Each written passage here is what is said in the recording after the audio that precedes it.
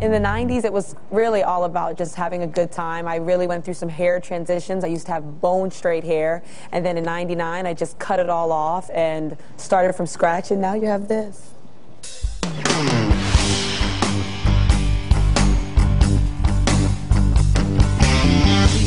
baby, can't you see my heart's a burning here? I got razors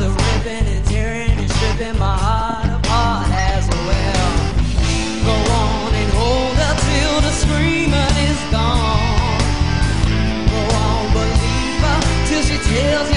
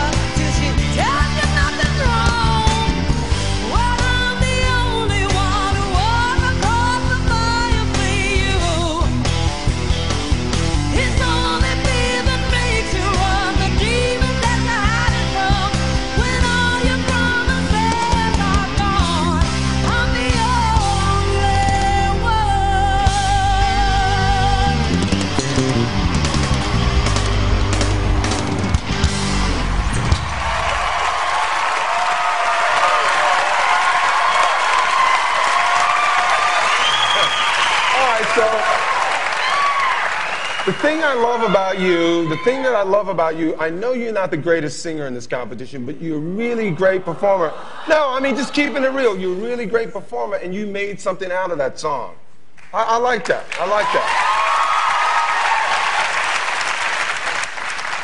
I would say miles better from last week. You're back, Nadia. You're back. Thank you, Paul.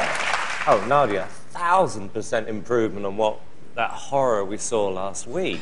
Um, I am, I am slightly nervous about that song, though. Um, I think the performance was great.